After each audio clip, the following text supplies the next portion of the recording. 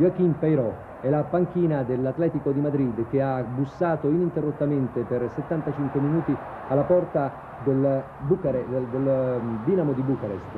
L'incontro di andata era stato vinto per 2 a 1 dalla squadra rumena e nell'incontro di ritorno occorrevano parecchi gol evidentemente alla squadra dell'Atletico Madrid. Vedete dalla panchina ci si sbraccia, si fa segno di andare avanti. È stato un po' un tiro al bersaglio che però non ha dato frutti fino al 75 minuto di gioco, vale a dire fino al trentesimo della ripresa. Ci è voluto un gran tiro da lontano di un difensore avanzato, eccolo, Benegas, gran tiro da lontano ed è gol. 1-0, si sblocca il risultato per l'Atletico Madrid che deve per forza però cercare a questo punto sarebbe già qualificato in quanto aveva perso per 2-1 l'incontro d'andata, ma insiste l'Atletico Madrid e trova il secondo gol con Ruben Cano sul tocco di testa dell'Ara. Vince 2-0 l'Atletico Madrid e si qualifica per il turno successivo.